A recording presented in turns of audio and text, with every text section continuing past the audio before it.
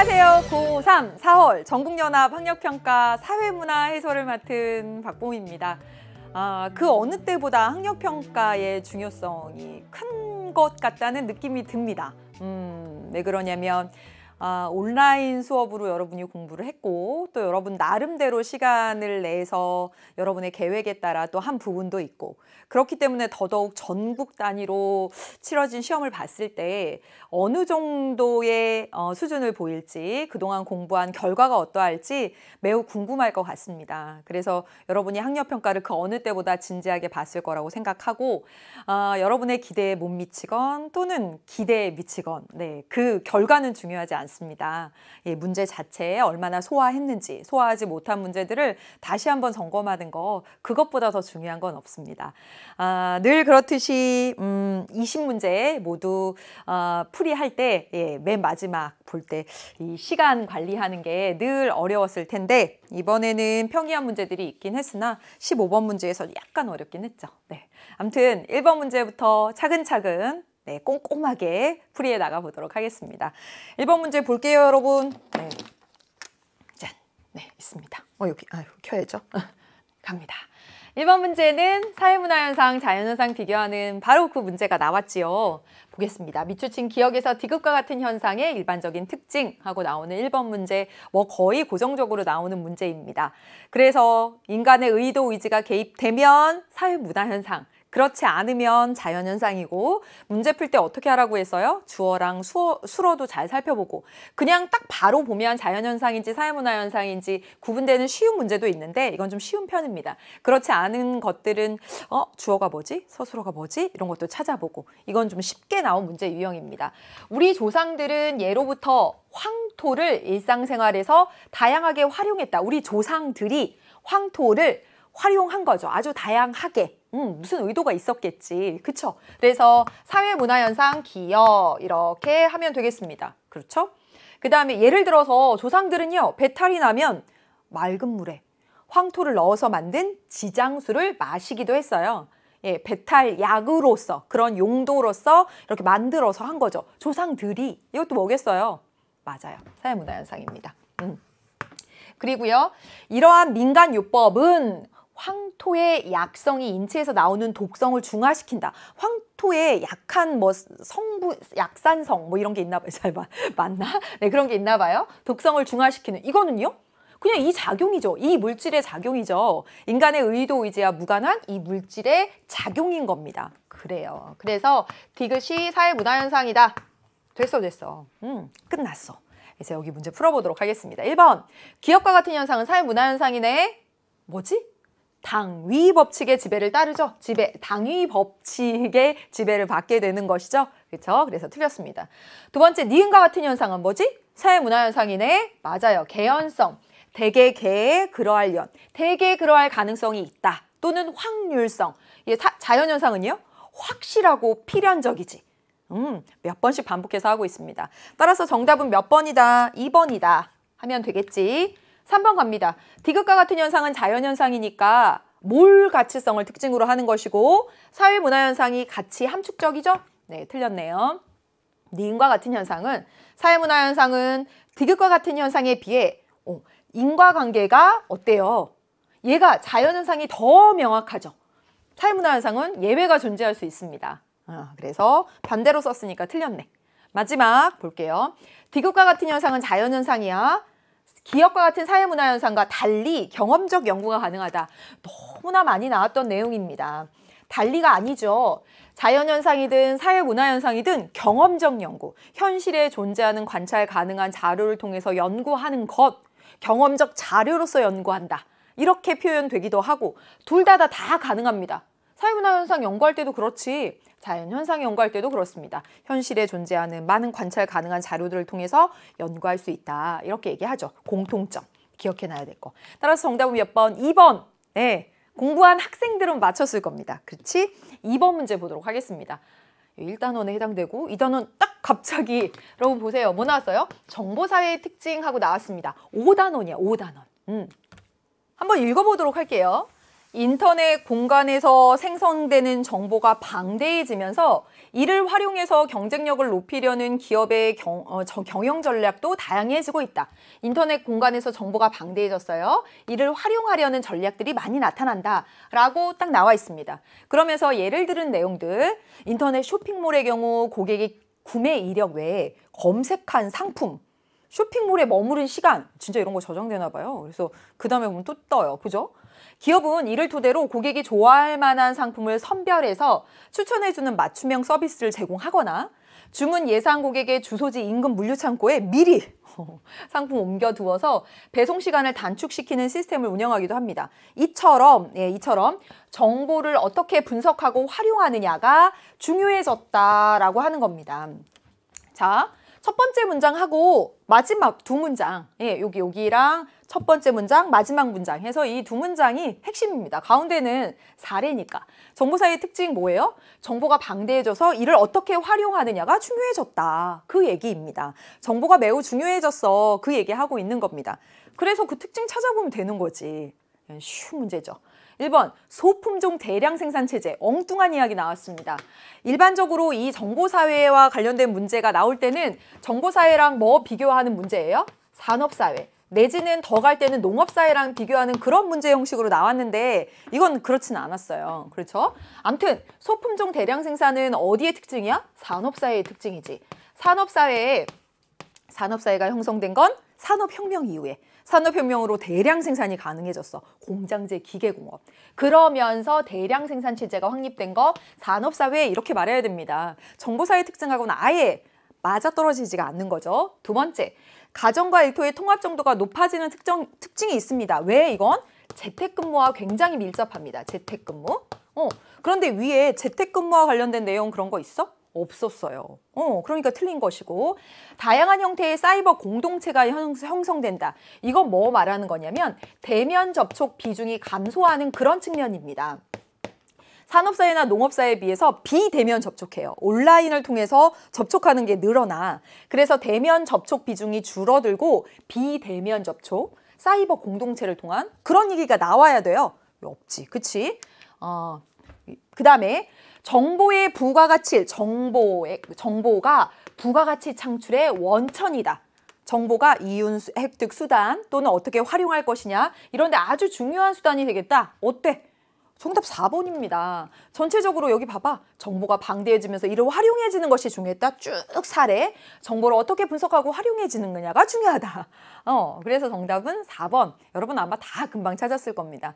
이건 진짜 뭐 개념에 근거한다라고 말하기도 어렵죠. 물론 우린 이거 다 개념으로 배우고 있지만 4번 정답은 금방 찾아지고 5번 해볼게요. 정치 참여의 공간적 제약 완화로. 그렇지. 왜냐하면 웹상에서 할 수 있으니까 퇴근 후에도 정치 참여할 수 있어요. 그렇죠? 네. 또는 시, 뭐 다른 나라에서도 우리나라 정치 참여할 수 있어요. 시 공간적 제약이 많이 축소합니다. 그래서 참여 민주주의가 활발해진다. 정보사의 특징이 맞긴 맞는데 위 내용과 관련은 없는 거지. 예. 그래서 정답 4번 하면 되겠습니다. 그 다음에 3번 문제로 가보도록 하겠습니다. 다음은 질문에 따라 여기 나왔네. 자료 수집 방법. 여러분 다섯 가지 알고 있죠? 그런데 그중에 세 가지 A에서 C. 면접법, 질문지법, 아, 실험법, 질문지법 중에 하나다라고 되어 있습니다. 이와 같은 형식은 정말 많이 나오는 형식이에요. 한번 해볼게요. 인위적인 통제 상황에서 인위적으로 뭔가 조작해 변수를 의도적으로 조작해서 나타나는 변화를 측정하는가라고 했습니다. 여러분 이거 뭐지? 그렇지 이거 실험법입니다. 실험법. 실험법. 맞잖아요. EBS 강의 들으면 성적 올라가나? 하면 어떻게 실험해요? 의도적으로 EBS 강의라고 하는 변수를 의도적으로 처치해서 그로 인해 나타난 성적이라고 하는 변화를 측정하는 것. 네. 그래서 이걸 의도적으로 조작해. 실험법이라는 거야. 그렇다면 이 말이 의미하는 바는 이 질문으로 A와 B를 구분할 수 있다라고 했어요. 그러면 A와 B 중에 하나는 실험법이 있다는 거죠. 그렇죠? 왜냐면 이뭐 실험법과 질문지법이건 실험법과 면접법이건 가, 면접법이건 간에 이 질문 딱 던지면 실험법은 O라고 할 거고 다른 건 X라고 할 거니까 A와 B 중에 실험법이 있다라고 하는 걸 알 수가 있습니다. 그리고요. 주로 양적 연구에서 활용하는 자료 수집 방법인가? 라고 하는 질문으로는 B와 C를 구분할 수 없대요. 어? 왜? 자 여기 봐봐. 면접법 있고 실험법, 질문지법 있습니다. 얘네 둘이 뭐야? 얘네 둘이 양적 자료 수집 방법이잖아요. 그리고 얘가 질적 자료 수집 방법입니다. 이 질문을 던졌는데 양적 연구에서 활용하는가? 라고 하는 질문을 던졌는데 B와 C를 구분할 수 없다는 건 B와 C가 실험법과 질문지법이 각각 된다는 얘기입니다. 그러면 둘 다 다 네, 네 하니까 질문 구분할 수 없는 거지. 그쵸? 따라서 B와 C는 실험법 아니면 질문지법이 된다는 얘기가 돼요. 그러면 결론적으로 어떻게 돼? A와 B 중에 실험법이 있어요? B와 C 중에 실험법이 있어요? 그럼 B가 뭐다? 그렇지, B가 실험법이에요. 네, B가 실험법이면 나머지 C는 뭐가 돼? 질문지법이 돼요. 그럼 나머지 하나 A는 뭐가 돼? 면접법이 되는 거죠.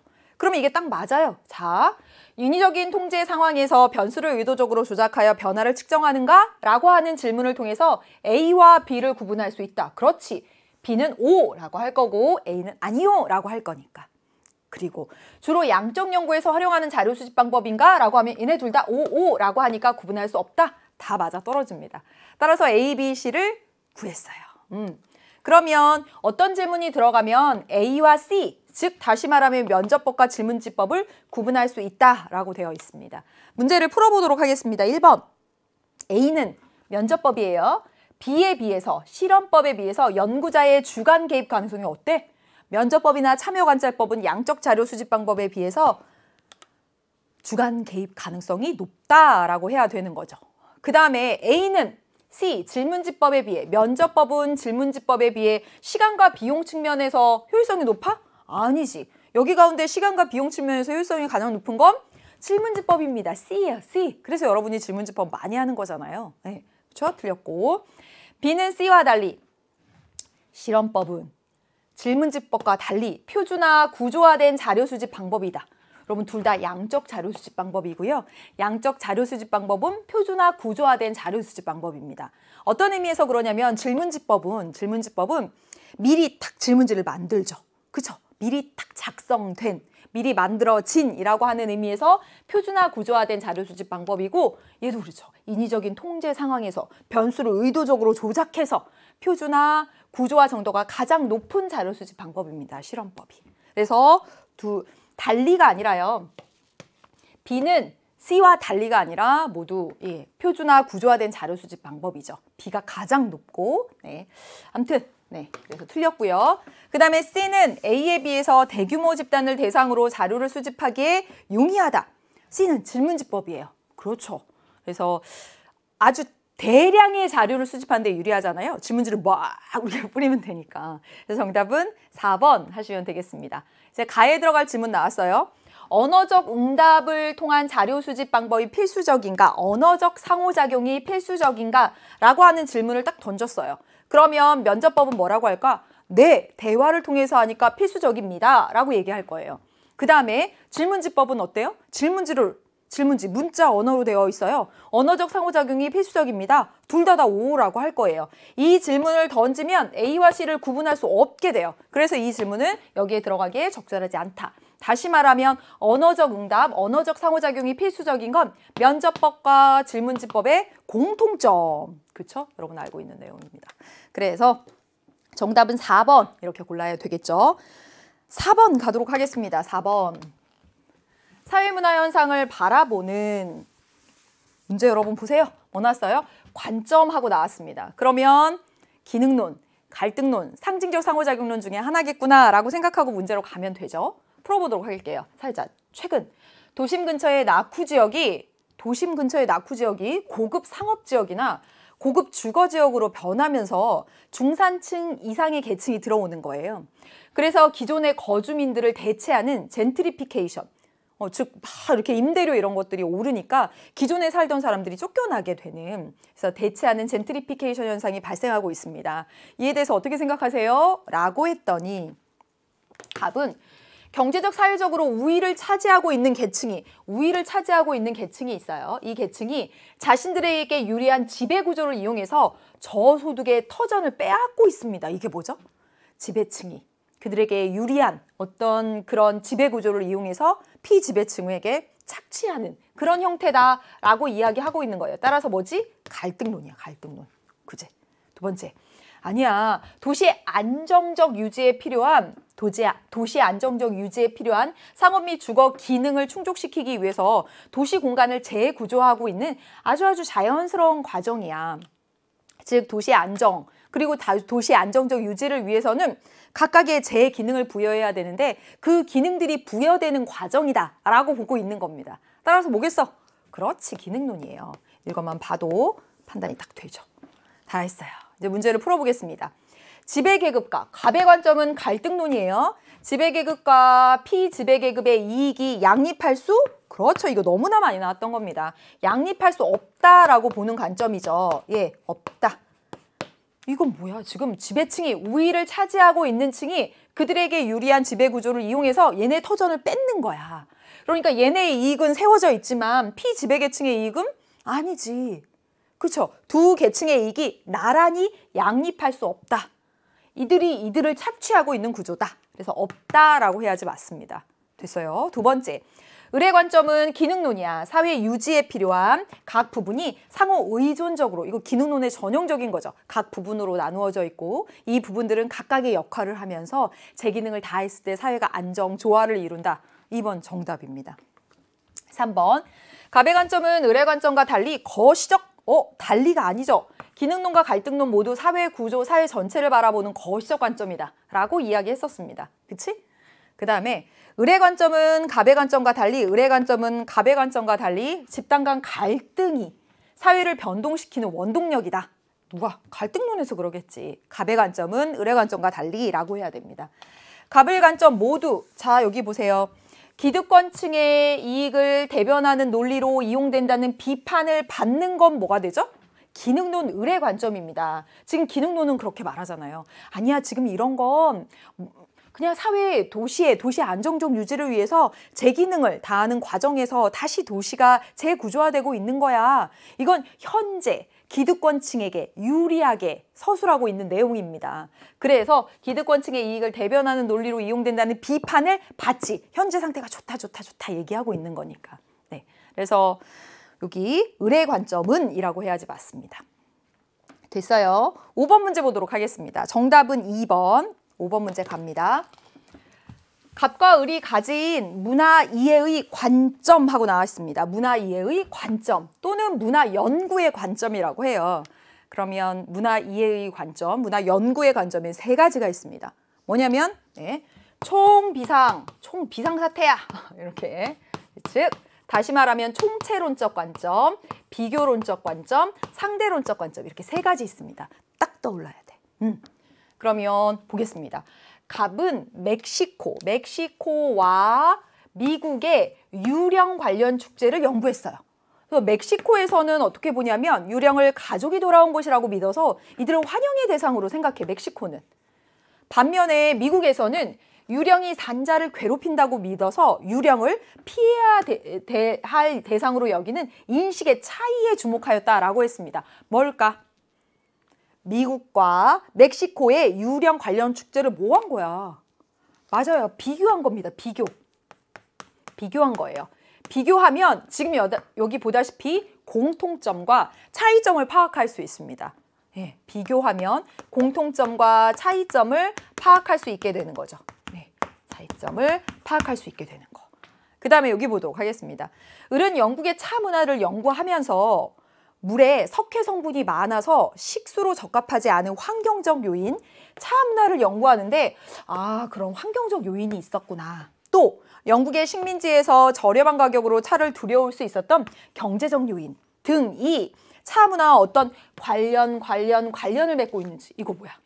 하나 문화 현상을 연구할 때 다른 부분과 연관 연관 연관되어 있는지 보겠다. 뭐지? 그렇지. 총체론적 관점입니다. 총체론적 관점. 네, 이렇게 할 수 있겠죠. 문제를 풀어볼게요. 기억. 갑의 관점은 문화 간의 보편성과 특수성을 파악하고자 한다. 그렇지. 이거 맞습니다. 문화 간의 보편성, 어느 사회에서나 존재하는 거. 보편성을 파악하면 공통점을 알아낼 수 있어요. 특수성을 파악하면 차이점을 파악할 수 있어. 맞는 얘기예요. 그래서 기억 맞다. 두 번째, 의뢰 관점은 특정 문화 현상을 다른 문화 요소와 여기 차 문화를 환경적 요인, 경제적 요인과 관계 속에서 보고 있다. 맞지? 네, 맞아요. 그 다음에 의뢰 관점은 갑의 관점과 달리 여러분 이거 별표, 별표, 별표. 자기 문화에 대해서 객관적으로 이해하는 데 기여하는 건 둘 중에 뭘까? 맞잖아. 비교해보면 그렇겠지. 여러분 자신에 대해서 다른 사람과 비교해보면 아 내가 성격이 조금 이런 측면은 모났고 이런 측면은 좋고 좀 객관적으로 볼 수 있잖아요. 마찬가지입니다. 문화를 비교해보면 우리 문화에 대해서 좀 더 객관적으로 볼 수 있어요. 그래서 갑의 관점은 이라고 해야지 맞습니다. 음. 전체적으로 틀렸고 갑의 관점은 총체론적 관점, 의뢰 관점은 비교론적 관점이 아니라 둘이 바뀐 거죠. 여기 바뀌어서 썼어요. 틀렸습니다. 그러면 상대론적 관점은 뭐라고 나와야 돼? 어떤 문화를 연구하는데 그 사회의 입장에서 해당 사회의 입장에서 상대방의 입장에서 연구하겠다. 그런 식으로 서술이 되어야 됩니다. 그래서 여기는 상대론적 관점은 없죠. 뒤로 가겠습니다. 6번 문제 볼게요. 6번. 문제. 개인과 사회의 관계를 바라보는 관점하고 나왔어요. 여러분 여기 다시 다시 다시 다시 잘 보자. 개인과 사회의 관계를 바라보는 관점. 바라보는 의뢰 관점. 음. 개인 강조하고 있는지 사회 강조하고 있는지만 찾으면 되는 거예요. 갑부터 가요. 도시 주변의 일부 지역을 개발 제한 구역으로 지정하는 제도가 개인의 재산권을 침해한다는 논란이 있습니다. 어떻게 생각하세요? 라고 했더니 의리예요. 개발 제한 구역 제도는 도시의 무질서한 확산 방지 및 자연환경 보존이라는 공익 실현에 기여하고 있다. 음, 뭔가 공익을 강조하네? 어, 더 읽어볼게. 이를 위한 개인의 재산권 제한은 개인의 권리는 제한하는 건 불가피해. 공익을 더 강조하고 있지. 개인의 이익보다 전체 이익, 공익을 더 강조하고 있습니다. 나오지 않아? 맞아. 사회 강조하고 있는 입장입니다. 더 읽어보면 확실해져요. 이게 뭐냐면 사회 실제론이지. 사회는 실제해 이거잖아요. 즉 여기 봐보세요. 공익은 공익은 사익의 총합으로 설명되지 않는 고유한 특성을 갖는다라고 얘기했어. 여러분 여기 사회 실제론에서 뭐라고 해요?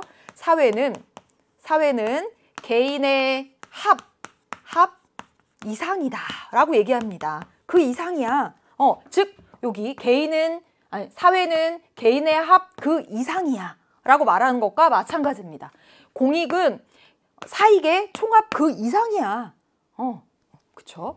개개인의 사익 추구만으로는 실현되지 않습니다. 라고 얘기하고 있습니다. 사회 강조하고 있는 입장이야. 됐어요. 어, 해보자. 기억. 개인의 자율성, 능동성을 강조해 사회 강조하는 측면이에요. 그러니까 틀렸지. 두 번째, 사회가 개인의 외부에 존재하는 독립적인 실체라고 본다. 이게 뭐냐면 사회가 눈으로 보면 뭐라 설명하기는 어렵지만 우리 바깥에 존재하면서 외제성, 외제성, 개인에게 영향을 미친다라고 보는 겁니다. 맞아요. 그 다음에 디귿 볼게요. 사회 문제 해결책으로서 사회 실제론에서는 사회 실제론은요. 사회 전체를 바라보니까 사회 문제 해결책으로서 제도 개혁을 강조합니다. 제도. 그리고요. 개인을 강조하는 측면에서는 개인의 의식 개혁을 말하지. 그치? 개인을 강조할 때. 그래서 이건 틀렸어요. 음. 그 다음에 개인의 사고와 행동에 대한 사회 구조의 거대한 영향력. 사회는 실제 우리 바깥에 있어. 리을 맞죠. 따라서 정답은 리은, 리을 해서 4번 이렇게 골라주면 돼요. 네. 그 다음에 가겠습니다. 7번. 지금까지 문제 보면 어때? 가혹하게 어려운 거 없죠? 네, 지금 어렵, 어렵지 않습니다. 개념을 기본적으로 했다면 여기까지는 진짜 술술술 가야 돼요. 뭐 꼬거나 뭐 이런 것도 별로 없어요. 지금 또 가겠습니다. 가나에 나타나 뭐 나왔어? 문화 변동하고 나왔어요. 예. 문화 변동이라고 나오면 여러분 뭐 생각해야 돼? 아, 문화 변동의 요인이나 문화 변동의 결과 나타난 양상. 음, 이게 문제로 나오겠구나라고 생각해야 돼요. 그래서 실제로 보면 아, 문화 융합, 자발적 문화 접변, 어, 이런 거 나왔잖아. 어, 선지 보시면 문화 동화, 직접 전파, 네, 그다음에 뭐 정체성, 뭐 이런 거 나왔습니다. 그렇죠? 그런 거에 유념해서 문제를 봐야 되겠지. 투피어는 지금의 브라질 지역에 살던 원주민의 언어랍니다. 하지만 이 지역을 지배한 포르투갈이 자국 언어의 확산을 위해서 투피어 사용을 금지했어요. 못하겠습니다. 강제적인 그런 측면이 나타나 있죠. 그래서 이 언어는 사라졌어. 투피어라고 하는 브라질 원주민이 쓰던 건, 쓰던 건 사라지고 현재 원주민의 후손들은 포르투갈어를 사용하고 있습니다. 기존의 자문화의 그 정체성이 사라졌습니다. 뭐지? 동화된 거지, 동화. 음. 그 다음에 밑에 보세요. 필리핀의 아티아티안 축제는 본래 부족들 간의 우정을 기념하여 춤과 음악을 즐기는 형태였어요.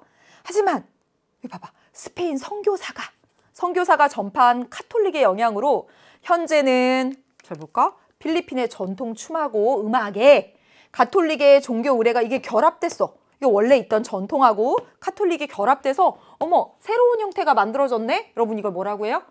맞아요. 융합이라고 말합니다. 융합. 음. 이 정도면 괜찮지. 그쵸? 이 정도면 괜찮아요. 문제 풀어보겠습니다. 1번. 가에서는 동화가 나타난 거죠. 융합 아니에요. 그쵸? 가에서는 자발적 문화적 변이야. 열치배한 포르투갈이 사용 금지 이랬습니다. 뭐 했겠어? 강제적이겠지. 강제적. 음, 틀렸고. 그 다음에 나에서 문화 동화다. 뭐지? 문화 융합입니다. 틀렸고. 그 다음에 가에서는 나와 달리 직접 전파가 나타났다. 이거는 어때? 여기 봐봐. 여기 새로운 포르투갈 어가 왔는데 어떻게 했어요? 식민 지배를 통해서. 음. 그리고 여기서는요. 카톨릭이 전파되는데 선교사가 이거 두 개 다 뭐야? 두 개 다? 직접 전파지. 따라서 달리가 아니라 모두 직접 전파가 나타났다라고 해야지 맞습니다. 그러면 정답은 몇 번이다? 5번. 5번. 음. 나에서는 가와 달리 문화 변동 이후에도 이거 진짜 많이 나오지. 기존 문화의 정체성이 남아있다. 그래요. 여기는 뭐죠? 동화는 기존 언어는 사라졌고 없어졌어요. 정체성이. 예, 사라졌어. 그러나 융합에는 어때? 필리핀 전통 춤, 얘가 완전 사라진 게 아니에요. 얘랑 카톨릭이 결합돼서 새로운 형태, 이 새로운 형태 안에는 전통의 요소가 남아 있습니다. 그래서 문화 융합은 기존 문화의 정체성이 남아 있다. 남아 있다. 아주 아주 중요한 거 많이 나와요. 정답은 5, 5번. 8번 문제 보도록 하겠습니다. 갈게요. 여기. 다음 글에 나타난 일탈 이론에 대한 설명으로 옳은 것은 했어요. 여러분 밑줄 다시 일탈 이론 했지. 그러면 여러분 생각나는 일탈 이론 뭐 있지? 아노미론 있어요. 네. 뒤르켐하고 머튼, 차별적 교제 이론, 그리고 낙인 이론 이렇게 있죠. 어. 해보자. 사람들은 일상 속에서 사소한 일탈을 종종 하지만 사소한 일탈, 이거 뭐죠? 일차적 일탈이라고 말합니다. 사소한 일탈, 누구나 할 수 있는 가벼운 일탈, 누구나 합니다. 그리고 아니, 내가 뭐, 뭐 어, 신호를 위반하거나 또는 회사 물품을 좀 가져오거나 뭐 이런 거요. 예. 뭐나 일탈자다 이렇게 생각하지 않아요. 그러나 어떤 일탈 행동이 알려져서 일탈자로서의 사회적 지위가 부여된 개인은 일탈 행동이 알려지는 거예요. 그래서 일탈자로서의 사회적 지위가 부여됐대. 이게 뭘까? 잘 생각해봐. 이게 낙인이야. 그러면 개인은 어떠냐면 학교나 가정, 직장 등에서 지속적으로 부정적인 상호작용을 경험하게 돼요. 이게 뭐죠? 어, 쟤 그런 애래. 어, 쟤는 뭐, 음, 이게 낙인이죠. 이거 낙인. 네, 낙인입니다. 부정적 상호작용 낙인이죠. 그러면 이에 따라 자신이 어떻게 되냐면 일탈자라는 평가에 순응하게 돼요. 아, 나야 뭐 다 그렇게 생각하는데 뭐 라고 해서 일탈자로서의 부정적 자아 정체성을 형성해.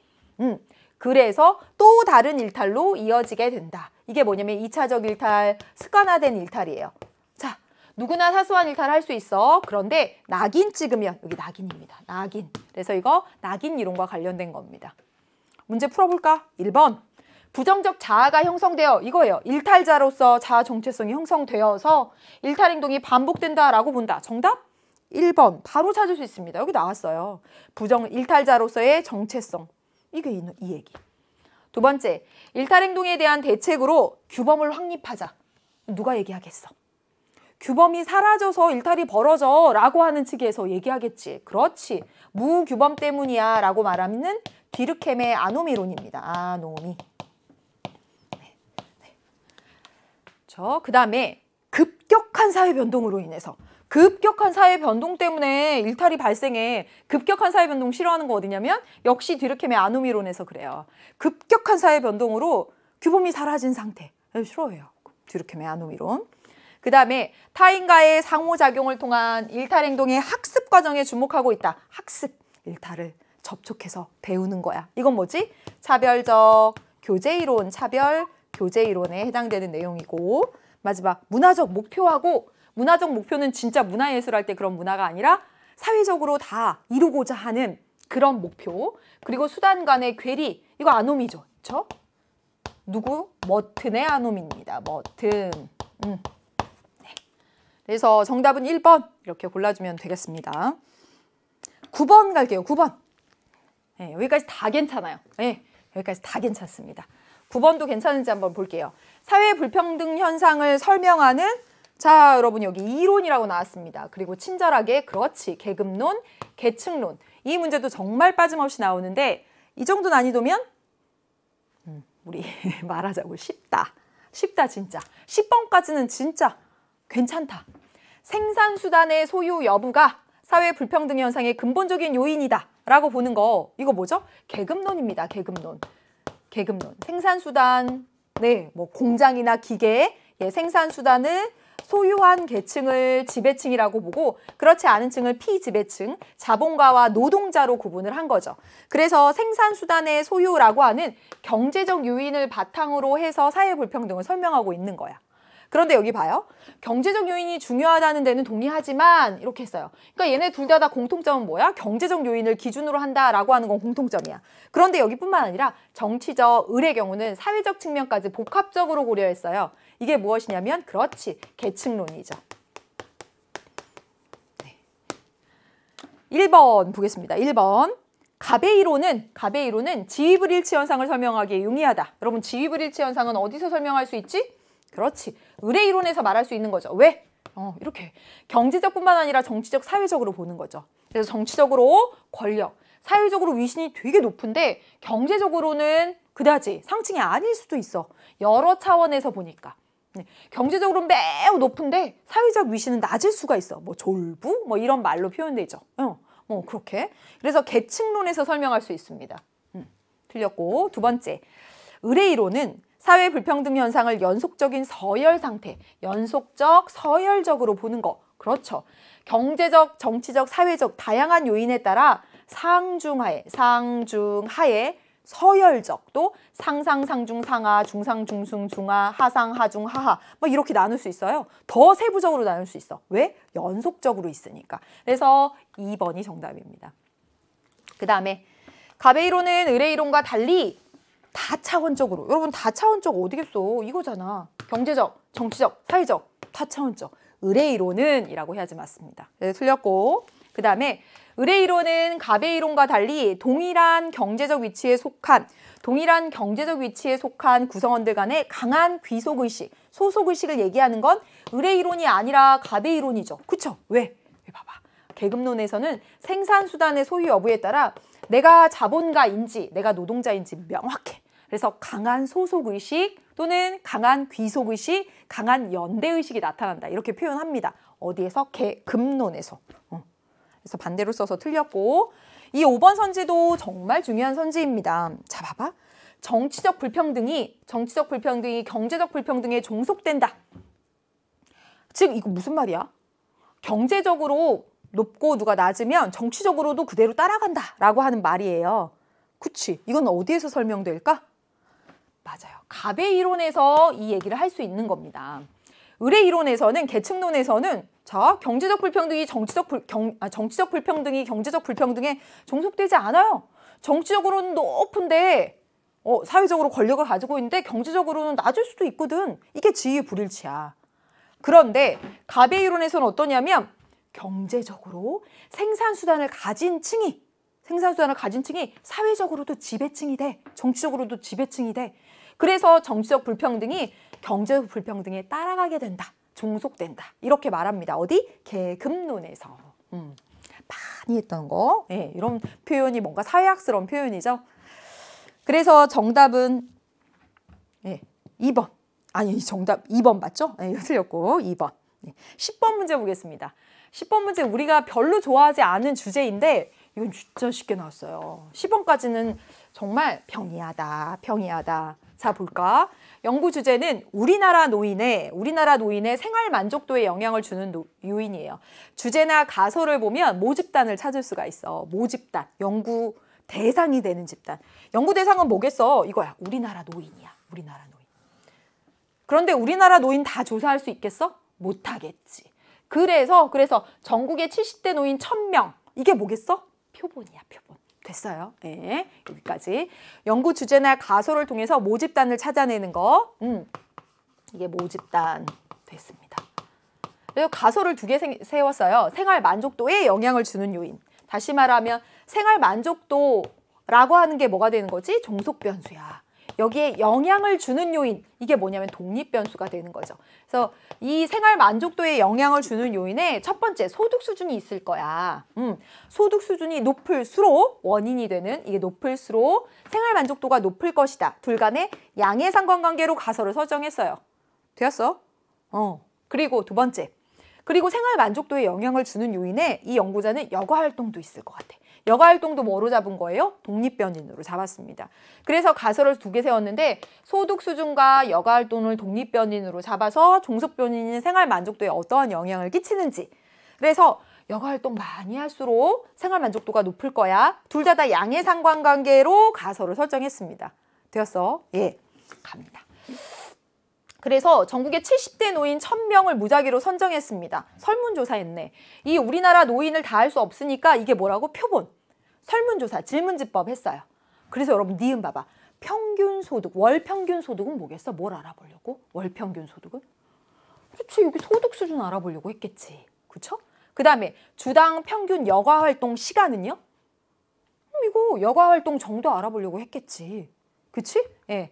그래서 분석 결과 노인의 월 평균 소득하고 생활 만족도 지수 간에는 통계적으로 유의미한 양의 상관관계. 자, 이거 이거. 어, 양의 상관관계로 했고 양의 상관관계로 됐대. 가설이 맞아 떨어진 거죠. 가설 수용 됩니까? 네. 그런데 그런데 한편 노인의 주당 평균 여가 활동 시간과 생활 만족도 지수 간에는 통계적으로 유의미한 어떤 상관관계가 안 나타나더라. 즉 이걸 노, 많이 한 사람이 생활 만족도가 높은 경우도 있는데 적게 한 사람이 높은 경우도 있고 뭐 이런 거예요. 그래서 뭔가 패턴, 통계적으로 유의미한 관계 이런 것들이 안 나타나더라라고 하는 겁니다. 되었죠? 문제 풀어볼게요. 기억을 통해서 표본의 대표성이 확보된다. 자, 얘가 표본이야. 여기까지 됐지? 모집단은 뭐라고? 우리나라 노인이야. 음. 그래서 우리나라 노인 다 조사할 수 없으니까 표본한 거예요. 대표성 확보됐어? 어때? 뭐가 문제 같아? 자, 여러분 노인 70대 노인만 했습니다. 80대도, 90대도, 100세 시대라고 말하잖아. 그치? 예, 그래서 어떤 특정 세대만 했기 때문에 전체를 대표한다라고 말하기 그렇지 어렵겠지. 기억 틀렸어요. 두 번째 볼게요. 니은 디귿 모두 그렇지 독립 변수를 주적적으로 정의한 거죠. 월 평균 소득, 주당 평균 여가 활동 시간 다 뭐야? 앞으로 가볼게. 요거 저거. 소득 수준, 독립 변수, 여가 활동 독립 변수. 그렇지. 맞죠? 그 다음에 어, 디귿 리을은 1차 자료를 분석하여 얻은 결과이다. 맞지? 여러분 1차 자료가 뭐예요? 연구자가 직접 수집해서 최초로 분석한 거. 어, 연구자가 쭉 해서 여기 보면 설문조사를 실시해서 그래서 여기 분석한 거예요. 따라서 1차 자료를 분석한 거. 맞아요. 1차 자료, 2차 자료 많이 나오죠. 음, 연구자가 직접 수집해서 최초로 분석한 거 맞다. 읽어보겠습니다. 자료 분석 결과에 따르면 가설 2는 1과 달리 수용되었다. 뭐가 수용됐어? 가설 1이 수용됐죠? 예, 이게 수용됐죠? 1이 수용됐습니다. 반대로 썼어요. 정답은 니은 디귿 해서 2번 이렇게 해주시면 되겠습니다. 11번 갈게요. 11번 가겠습니다. 그림은 질문을 통해서 사회집단 A, B를 구분한 것이에요. 음. 각각 이에 대한 설명으로 옳은 것은 그래서 각각 공동사회하고 이익사회. 아, 이거 많이 했네. 선택 의지에 따라, 선택 의지에 따라 인위적으로 형성되었는가? 예라고 했습니다. 그럼 여러분 뭐가 되죠? 그렇죠. 이게 이익사회죠. 이익사회. 테니스가 결합 의지에 따라서 결합 의지에 따라서 인위적으로 일부러 만들면 다 이익사회라고 부르기로 했고요. 자연 발생적인 의지 그러면 공동사회라고 부르기로 했습니다. 따라서 A, B가 무엇인지 쫙 결정이 됐어요. 이제 문제 풀어보도록 하겠습니다. 비공식 조직은 비공식 조직은 A 이익사회에 해당한다. 정답 1번입니다. 네, 이건 진짜 우리가 많이 그린 그림 가운데 하나 한번 그려보면 그럼 이거 공식 조직 있어요?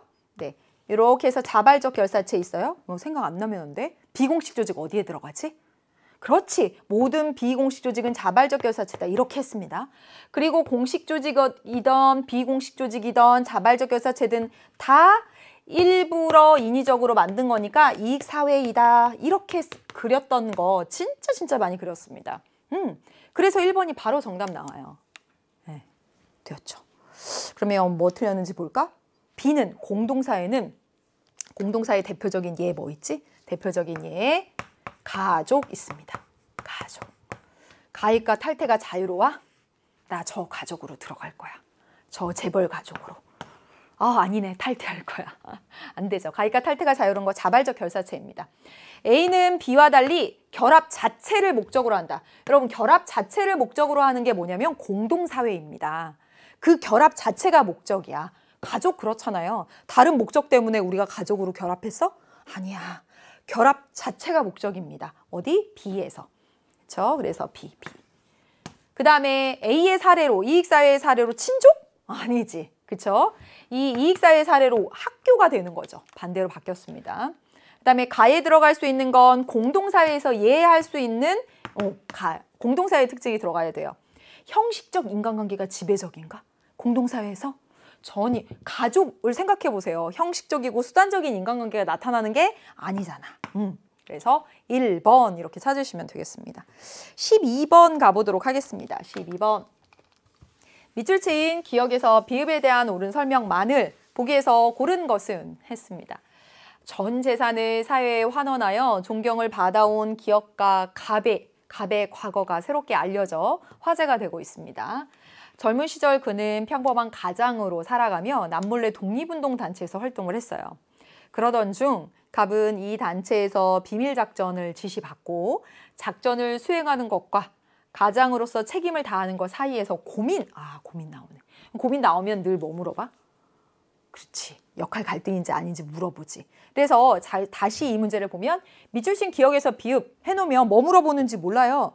앞에서 이런 문제는 아 사회 집단 물어보는구나 바로 알 수 있는데 이런 거 뭐 물어보는지 몰라 그러면 이런 건 선지로 가는 거죠 아 역할 지위 음 역할 갈등 그런 문제구나 그런 내용들을 유념해서 이거 보면 더 문제를 빨리 풀 수 있죠. 그렇죠? 일단 다 읽어볼게요. 결국 임무 수행을 위해서 가족이 곁을 떠났습니다. 갑의 자녀들은 어린 시절 갑자기 떠난 아버지를 원망하기도 했는데 아, 그동안 몰랐던 갑의 과거를 알게 돼서 아버지를 이해하게 되었다 하고 나왔습니다. 그러면 기억부터 살펴보도록 할게요. 전 재산을 사회에 환원했어. 와 대단하네.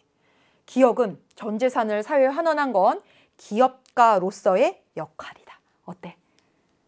이런 거 헷갈리면 안 되지. 역할은 뭐지? 기대되는 거, 기대되는 거. 음, 뭔가 기업가에게 사회적으로 공헌해 주길 뭐 기대할 수도 있겠지. 예, 뭐 그렇지만 예, 여기는요. 이 기, 갑이 전 재산을 사회에 환원한 거야. 갑이 실제 수행한 거지. 어, 갑이 실제로 수행한 거예요.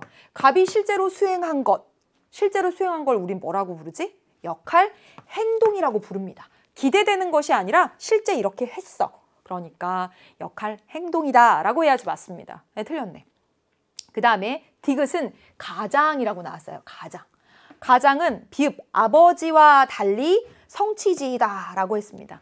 너무 많이 했지. 그치? 아버지와 달리? 그럼 아버지는 성취지 아니라는 거야? 아버지 어때요? 성취주의죠. 그쵸? 네, 아버지의 성취지입니다. 가장은요? 모두 성취지입니다. 네. 어, 아버지, 어머니, 남편, 아내 진짜 진짜 많이 나오지. 네, 태어날 때부터 노력도 안 해도 되는 거야? 아니지. 열심히 노력해야지만 아버지가 되고 어머니가 되고 한 가정을 이루고 가정의 가장이 되고 이런 것들은 모두 노력해서 능력을 발휘해서 할 수 있는 것들입니다. 따라서 가장이나 아버지, 어머니 또는 부모, 부모 이런 모든 것들 성취주의다. 음, 잊어버리지 마세요. 그 다음에 갑니다. 리을 있어요. 리을. 독립운동 단체 하고 나왔네요. 독립운동 단체는 사회화 기관으로 따지면 당연히 뭐겠어? 2차적 사회화 기관이겠죠.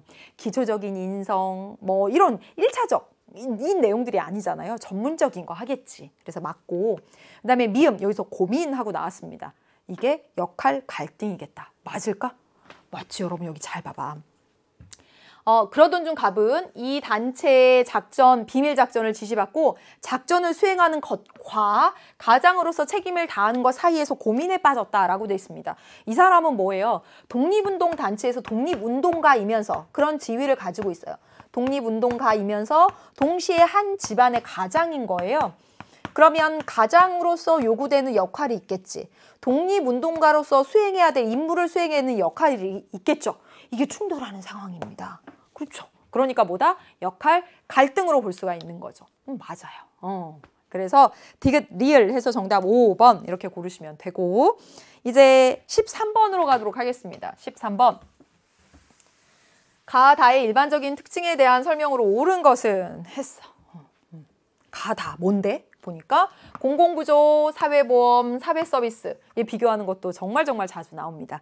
지금 13번까지 문제로 오면서 좀 어려운 거 어때요? 12번 정도가 그렇죠. 어, 12번 정도 기억, 니은 좀 잘 알아둘 필요 있겠고 그 다음에 13번 얘는 이제 좀 괜찮습니다. 어, 얘도 항상 나오는 거.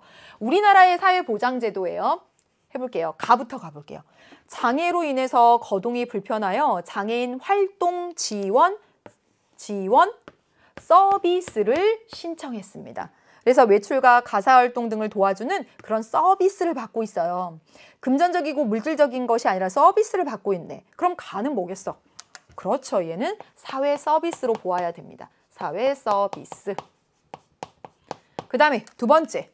직장을 다니던 동안 꾸준히 보험료를 냈습니다. 내 혜택을 입는 내가 돈을 지불하고 있어요. 이것만 봐도 이거 뭐냐면 사회보험입니다. 나는 사회보험.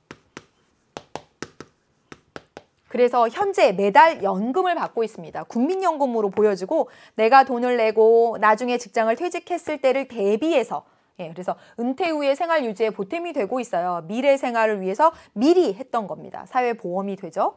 그 다음에 여기 봐봐. 생계가 어려워져요. 예, 음, 사회적으로 생계가 어려운 층을 대상으로 해서 소득 인정의 기준을 충족해서 주거급여, 의료급여 등을 받고 있습니다. 생계가 어려운 층을 대상으로 하고 있습니다. 뭐겠어? 공공이 도와줘야 되겠지. 그래서 다는 공공부조다. 이렇게 하시면 되겠습니다. 문제를 풀어보도록 할게요. 네, 1번. 강제가입의 원칙, 의무가입. 강제가입, 의무가입 여러분 어떤 거예요? 그렇죠. 사회보험입니다. 나입니다. 나. 예. 그래서 사회보험의 경우에는 강제가입, 의무가입의 원칙이 적용되는 거. 예. 그래서 보험료를 납부하도록 되는 거. 네, 틀렸습니다. 그래서 나는 미래의 위험에 대한 사전 예방적이다. 그렇지. 사회보험은요. 보호하다. 위험을. 미래에 있을 위험. 네, 아플 수도 있고요. 실직 상태에 빠질 수도 있고요. 장애일 수도 있고요. 그래서 미리, 미리. 그래서 맞고요. 정답은 2번 이렇게 하시면 되겠습니다. 그 다음에 다는 수의 정도에 따른 비용 부담. 여러분 공공부조는 어때요? 이 말 자체가 뭐야? 공공이 도와주고 도와주는 도울부 도울조자입니다. 생활이 어려운 계층이야. 그렇기 때문에 공공이 국가나 지방자치단체가 도와주는 겁니다. 비용 부담하지 않아. 어, 그래서 틀린 얘기가 됩니다. 그 다음에 다는 나와 달리 소득 재분배 효과가 있다. 라고 했는데요. 다는 나와 달리가 아니라 모두 소득 재분배 효과가 있습니다. 얘가 소득 재분배 효과가 제일 크겠지. 비용 부담하지 않은 어려운 층을 국가의 세금으로 도와주니까 얘가 소득 재분배 효과가 더 크고 얘는 왜 소득 재분배 효과가 있어? 사회보험은? 소득이 많은 사람은 보험료를 더 많이 내. 아닌 사람은 더 적게 내서 다 가치 혜택을 누리는 것이거든요. 예, 그래서 달리가 아니라 소득 재분배 효과가 있냐라고 물어보면 다 있다라고 해야 돼요. 어, 그래서 틀린 거. 그 다음에 가나 모두 국가와 지방자치단체가 비용을 전액 부담한다라고 했는데 여러분 전액 부담하는 건 뭐예요? 전액 부담하는 건 여기 공공부조입니다. 국가나 지방자치단체 공공이 도울부 도울조 생계가 어려운 계층을 도와주는 겁니다. 전액 부담하는 건 공공부조 이렇게 해야 맞습니다. 그래서 정답은 2번 14번으로 가보도록 하겠습니다. 14번 밑줄 친 기억에서 리을에 대한 옳은 설명만을 보기에서 고른 것은 했어요. 이렇게 문제 보면 뭐 물어보는지 모르겠어. 어, 그럴 때는 빨리 선지 보라고 했습니다. 아, 비물질 문화, 널 문화의 의미, 음, 그다음에 주류 문화, 반문화, 아 이런 거 묻는 거구나. 반문화, 문화의 의미 그렇게 어떤 걸 묻는지 파악하고 문제를 읽는 것이 훨씬 좋습니다. 그래서 읽어보면 네오비트족은 패션이나 음식, 여가생활 등 다방면에서 직접 체험을 중시하는 소비 집단을 말한대요. 음, 처음 들었습니다. 이들은 새로운 기술 습득 능력과 SNS 활용 능력이 뛰어나고 역동적인 여가 활동을 즐깁니다. 그래서 체험을 중시하니까 그렇겠죠. 네, 체험을 중시하는 역동적인 여가 활동도 하고 음, 좋네. 이 용어는 1950년대 미국의 저항적인 청년 문화를 형성했던 비트족에서 유래가 됐대요. 그래서 비트족은 당시 기성세대가 중시했던 출세, 교육 등의 가치를 거부하는 태도를 보였어요. 뭔가 저항적인 성격을 가졌대요. 비트족은. 그런 저항적인 청년 문화. 기존의 뭔가 이런 기성세대 문화에 저항하는 성격을 가졌다면 어떤 성격 같아요? 그렇죠. 반문화의 성격이 있지, 반문화. 반문화적 성격이 있습니다. 음. 어, 거부하는 태도를 보였어요. 네오비트족의 문화, 어, 네오비트족의 문화는 창의성과 도전 정신을 바탕으로 새로운 트렌드를 만들어내는 것을 특징으로 하지만 사회 참여나 소통도 중시한다는 점에서는 무조건적으로 사회에 반항했던 이런 청년 문화로서 비트족하고는 좀 차이가 있다는 거죠. 예, 됐습니다. 그러면 기억부터 보도록 하겠습니다. 기억, 여기 음식하고 나왔어. 음식. 음식은 여러분 비물질 문화이다. 맞아. 어. 물질 문화인지 비물질 문화인지 묻는 거 정말 많이 나옵니다. 예, 여러분. 이거 확실하게 정의해 놓으세요. 이거 뭐냐면 물질 문화지. 여러분 물질 문화는 뭐냐면 물질 문화는 선생님 음식이 물질 문화? 네. 의식주와 관련된 의식주와 관련된 도구, 기술 다 물질 문화입니다. 그래서 기출에 나왔던 거 보면 편집 기술 물질 문화예요. 예. 네. 편집 기술 물질 문화입니다. 빨간 김치 물질 문화예요. 나왔던 적이 있습니다. 그럼 비물질 문화는 무엇이냐?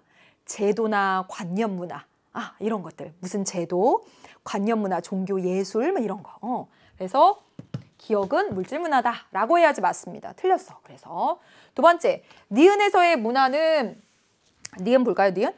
니은 있어. 여기 여기. 청년 문화 할 때 이 문화는 좁은 의미겠어?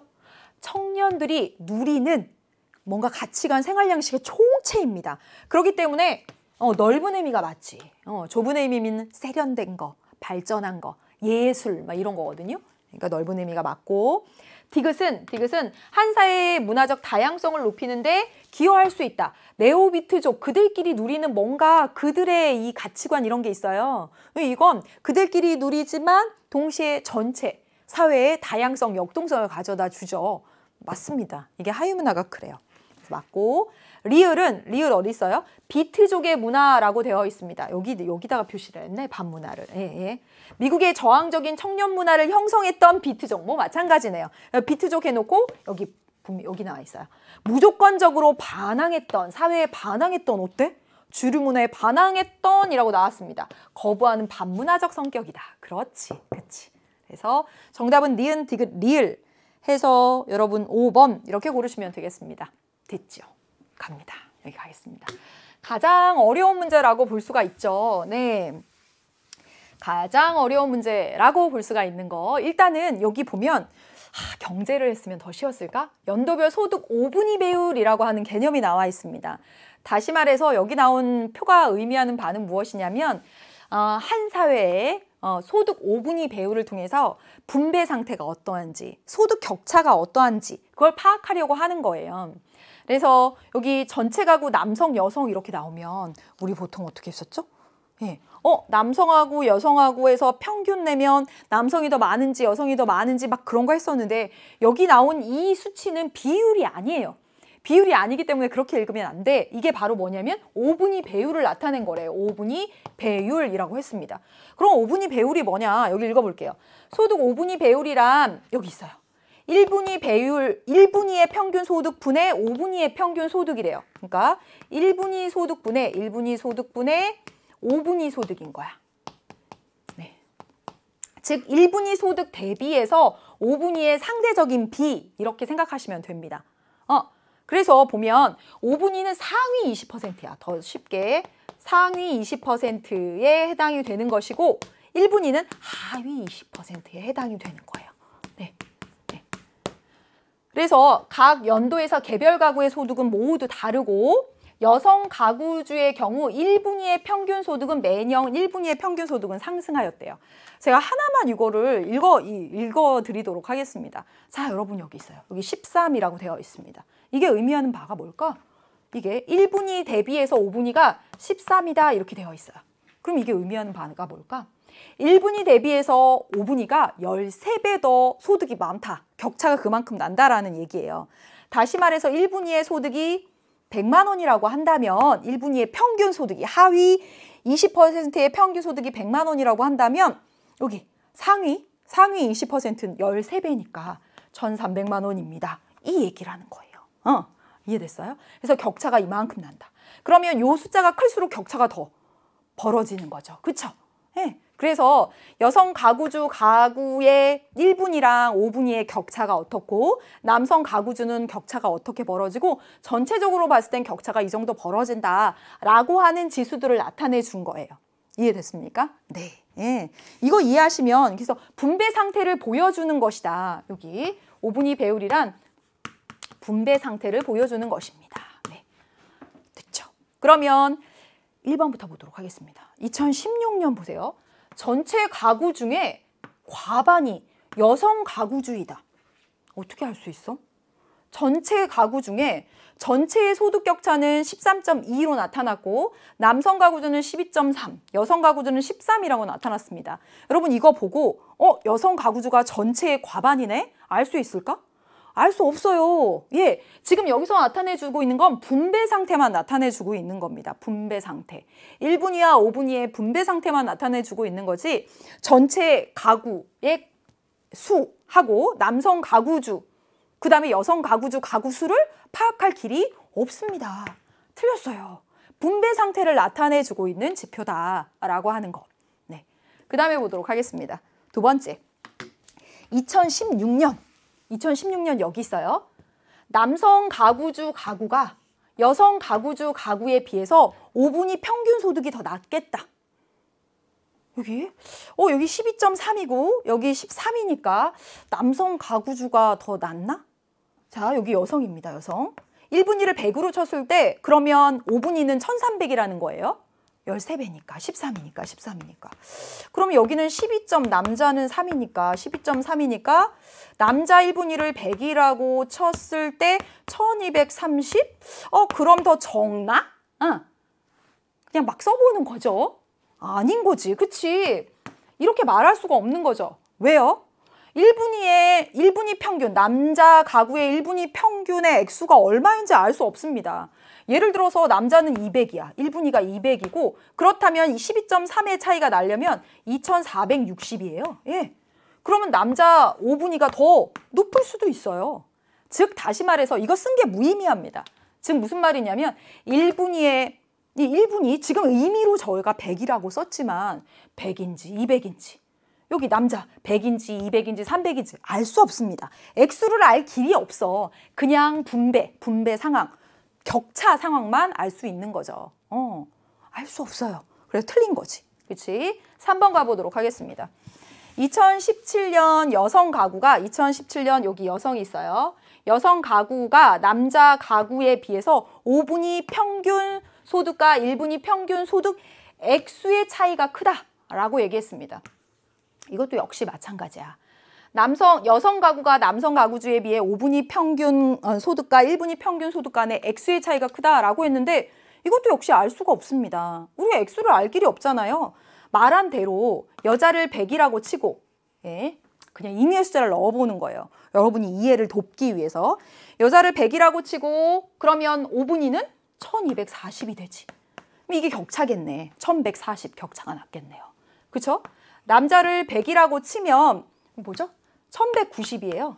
어, 그러면 여자 격차가 남자 격차보다 큰 거 맞네. 그쵸? 똑같이 두었을 때는. 그러면 여성 가구주가, 가구주 가구가 남성 가구주에 비해서 5분위 평균 소득과 1분위 평균 소득, 여기 액수, 액수 차가 이렇게 하면 커요. 그런데 여기 말한 것처럼 임의로 그냥 100을 넣어본 겁니다. 그래서 상대적으로 얼마나 차이가 나는지 그냥 본 거야. 액수 알 수 없어요. 여기가 만약에 200이고 그러니까 남자가 1분위가 200이고 그러면 여기 두 배가 되죠. 그러면 액수 차이는 훨씬 더 클 수도 있어요. 예, 아무 숫자나 넣어본 겁니다, 지금.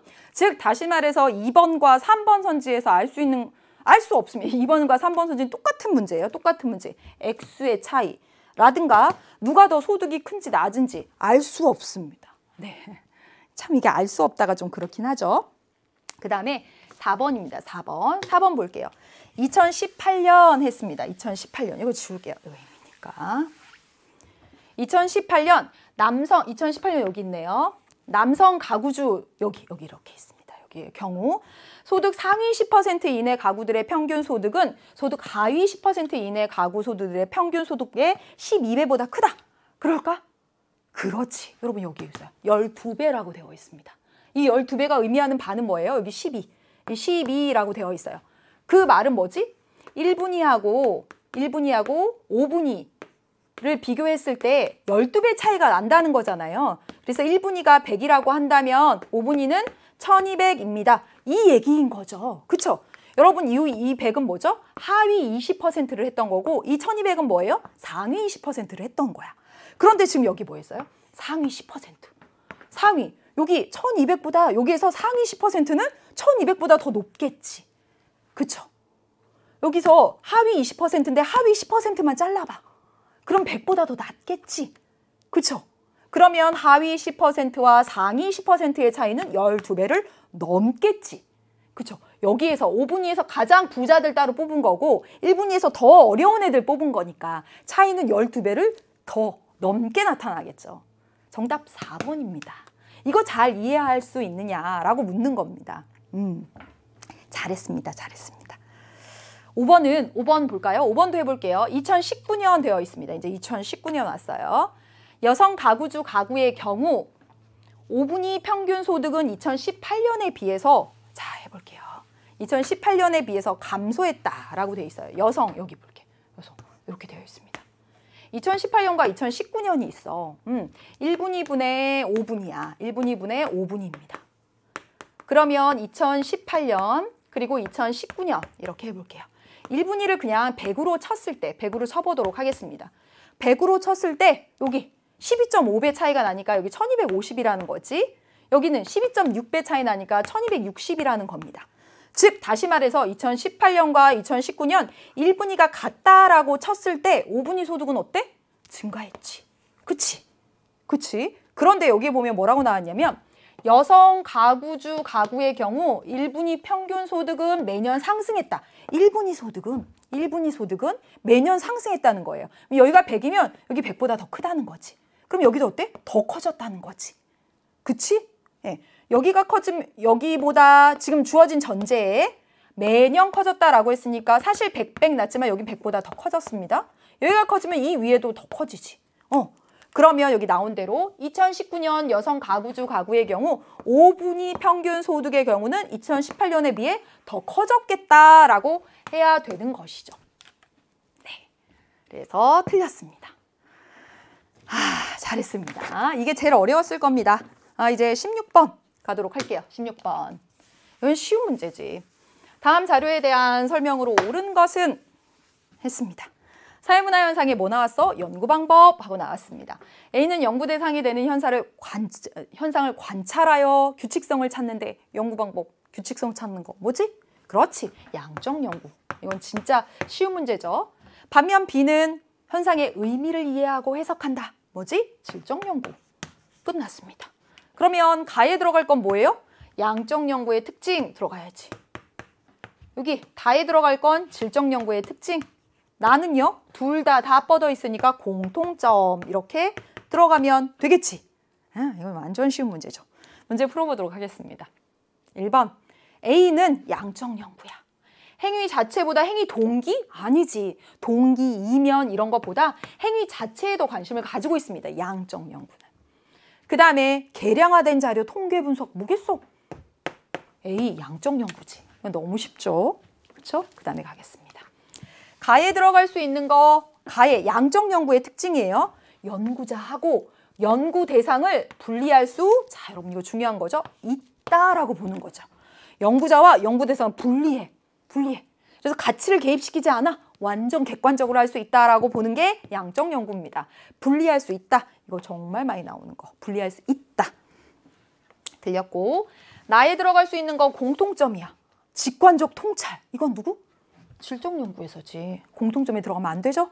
틀렸습니다. 5번. 다에 들어갈 수 있는 건 질적연구의 특징. 사회문화현상과 자연현상은 본질적으로 달라. 질적연구. 그래서 뭐라고 해? 방법론적 이원론이라고 하지. 정답 5번. 이거 진짜 기본 문제다. 7번, 17번 보겠습니다. 문화의 속성 하고 나왔어요. 속성 하고 나오면 여러분 다섯 가지 생각해야지. 뭐 있어? 학, 공, 전, 축. 그렇지. 변. 이렇게 하죠. 변. 네? 학공, 전축, 변 생각하고 가야 됩니다. 태극기는 1882년 조선이 외국과 조약을 체결하는 자리를 위해서 만들어졌어요. 당시에 만들어진 태극기는 지금과 차이가 있었다. 어? 태극기가 당시와 지금이 다르대요. 뭐지? 변동이지, 변동. 그렇지? 태극 모양도 달랐고 지금처럼 4개가 아니라 8개로 이루어져 있었습니다. 오늘날 우리는 국경일과 기념일에 국기를 개양하며 그 의미를 되새기고요. 예를 들어서 현충일에는 태극기를 긴 면 너비만큼 내려서 나는데 이는 우린 다 알아요. 그게 아, 우리 국민에게 국가를 위해서 희생한 사람들에 대해서 추모한 의미를 갖는 의미로 이걸 내려달아요. 왜 저래? 다른 나라 사람들 모를 텐데 우리는 알아. 뭐 하니까? 공유하고 있으니까. 됐지? 이제 풀어보도록 하겠습니다. 기억. 문화는 구성원 간 상호작용의 토대가 됨을 변동성이? 아니지. 그쵸? 두 번째, 문화는 타고나는 것이 아니라 습되는 거. 이건 뭐야? 학습성. 안 나왔어요? 그쵸? 그 다음에 시간의 흐름에 따라 문화 요소의 의미나 형태가 변화한다. 이거 뭐지? 변동성. 기억 3번 정답 하시면 되겠죠. 그렇죠?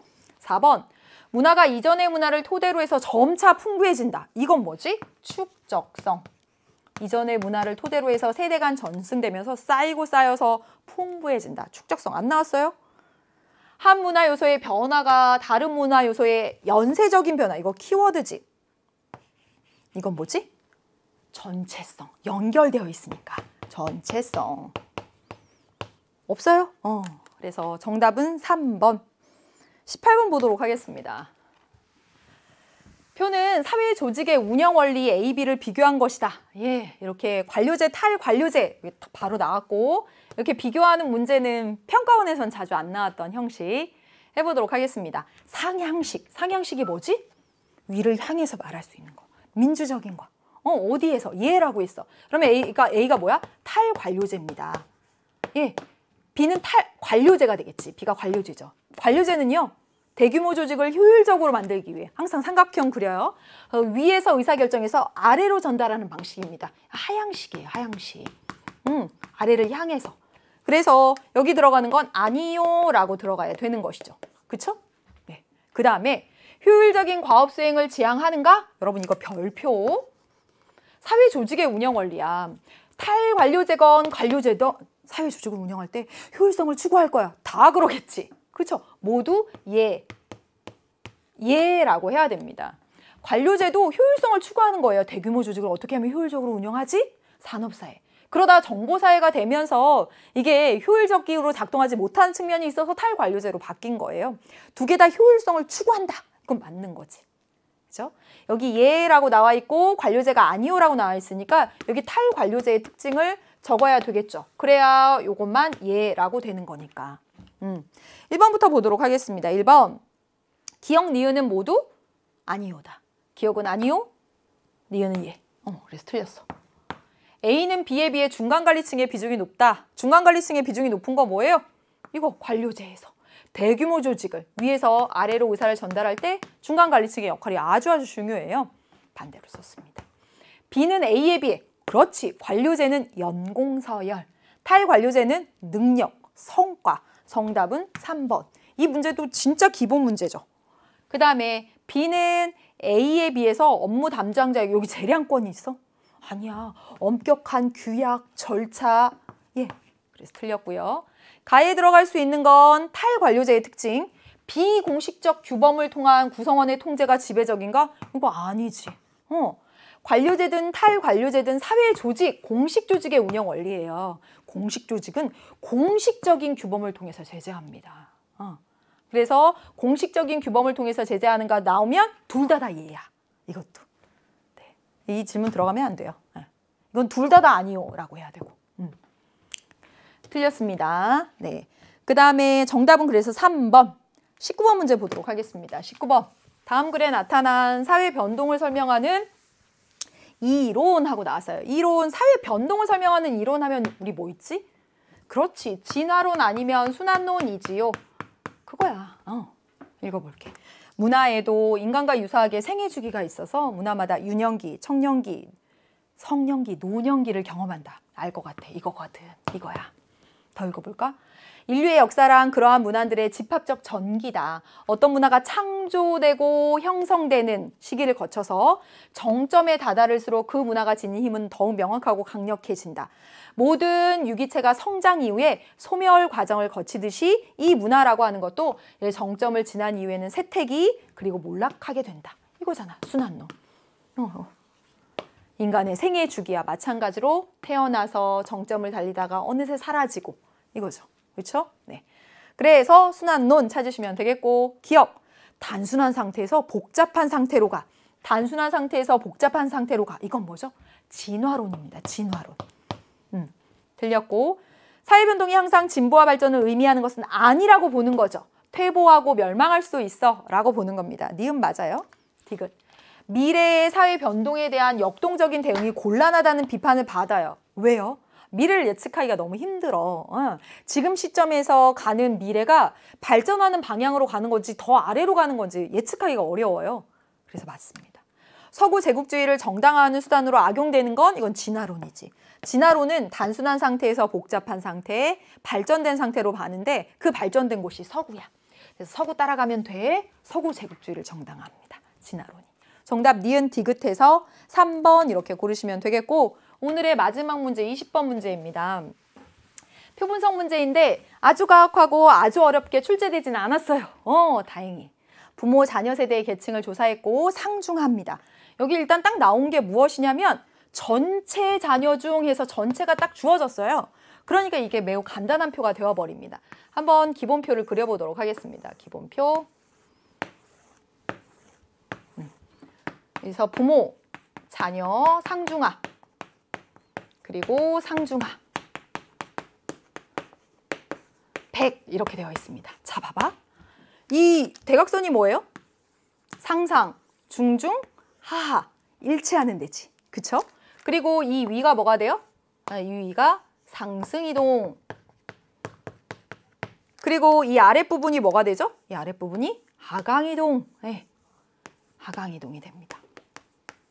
자 여기 봐봐. 전체 자녀 중, 전체, 여기 전체 자녀 중에서 부모와 자녀 모두 상층인 경우 5%래요. 모두 상층, 모두 중층, 모두 하층 이렇게 나왔어. 그럼 대각선에 차근차근 쓰면 돼요. 모두 상층은 5고요. 모두 중층, 모두 중층은 40이고요. 모두 하는 25입니다. 음, 금방 쓰면 돼. 됐죠? 그리고 나서 다른 데 볼까요? 부모 세대 계층 대비해서 부모 세대와 자녀 세대의 계층 불일치 비율이 나왔어. 그럼 이것도 외우 쉽습니다. 여러분, 계층은 어떻게 써? 불일치하거나 일치하겠지. 맞아요? 그치? 어. 불일치가 50% 했으면 일치 얼마였을까? 50% 했겠지. 그치? 불일치 0이야. 그러면 다 일치했다는 거지? 응, 100%. 불일치 50이야. 그럼 일치 50% 했다는 거지? 예, 이거 찾으면 금방 찾아집니다. 그럼 해보세요. 해보세요. 부모 세대 계층 대비 상에서 잡으세요. 상. 부모 세대 상에서요. 얼마인지 모르는데요. 일치한 거 여기 일치한 게 50%. 50% 일치해서 5가 됐어요. 그럼 여러분 여기 얼마 될까? 그치 10이어야지. 10이어야 부모 세대 상이 10인 경우에 50% 절반 일치해서 여기 일치 자리로 왔습니다. 이렇게 되는 거죠. 그렇죠? 그 다음에 여기 보세요. 부모 세대 중은요. 100% 일치했어요. 다. 어, 100%. 여기 40이라는 거네. 응. 40인데요. 40 다 일치했어요. 이 말 준 거잖아요. 여기 0이고 여기 0이네. 됐지? 그치? 여기 보세요. 그럼 나머지 40이고 여기 50이겠네. 응. 10이고 40이니까 100이니까 50이지. 맞는지 볼까? 여기 보세요. 하에서 50% 일치했어요. 50인데요. 50% 절반. 25 일치한 자리 같잖아. 다 찾았어요. 그리고 볼까요? 자녀 세대 중층에서 부모 세대 계층과의 일치 비율도 100%다라고 했습니다. 자녀 세대 중층에서 일치 비율 100%다. 즉 중층은 40인데요. 40 다 일치했어요. 이거 준 겁니다. 어, 그래서 여기도 0이고 여기도 0이라는 걸 찾아준 거예요. 그럼 다 있지 뭘. 응, 저 봐봐. 5, 9, 0이에요? 그럼 여기 얼마? 5 해야지? 되죠. 5, 9, 0이고 25야. 그럼 여기 얼마 되지? 30이지. 30, 40? 그럼 여기 30이어야 되네? 그럼 여기 얼마 들어가야지? 25, 9, 0이니까 25도 뭐 이렇게 학원, 이렇게 학원. 다 찾았어. 끝났어. 다 됐습니다. 네, 그래서 문제 풀어보도록 하겠습니다. 이거 금방 만들었어요? 네, 처음에 헤매도 괜찮습니다. 이런 문제, 저런 문제 자꾸 해보아야 됩니다. 네, 그러면 해보도록 할게요. 1번 해보도록 하겠습니다. 1번. 상층의 비율은 여기 있네. 10이고 자녀는 30이야. 부모 세대가 높아? 10이고 30인데? 아니지. 들렸습니다. 부모 세대와 자녀 세대 모두 피라미드야? 부모 세대는 피라미드 맞네. 자녀 세대는 중층이 가장 많은데? 아니지? 어, 틀렸습니다. 그 다음에 3번 가도록 하겠습니다. 3번. 상승이동 비율이 하강이동 비율보다 낮아요? 상승이동 여기 이렇게 해서 25. 하강이동은 이렇게 이렇게 이렇게 해서 5. 상승이동이 더 많은데? 틀렸지? 네, 그렇죠. 그 다음에 보겠습니다. 상층 부모를, 아, 하층 부모를 둔, 하층 부모를 둔 상층 자녀 여기 있습니다. 여기, 여기 25예요. 25.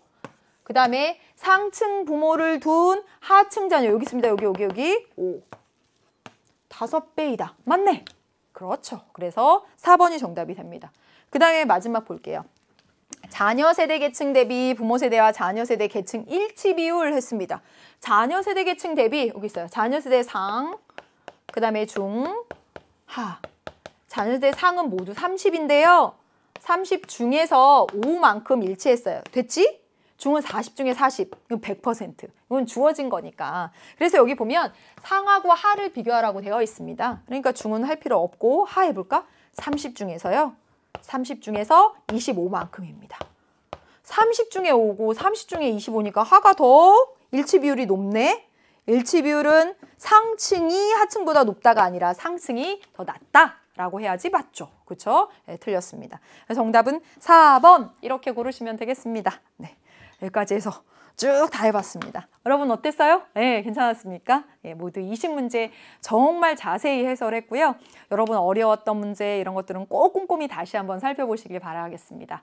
5월엔 그동안 시험이 없었었는데 5월에 보는 4월 학력평가였습니다. 꼼꼼히 보시고 다음 6월은 더 잘, 어, 더 진짜 한 단계라도 이렇게 탁 어, 높아, 높게 성적이 나올 수 있도록 더 노력하는 시간들이 되었으면 좋겠어요. 고생 많으셨습니다, 여러분. 네, 안녕.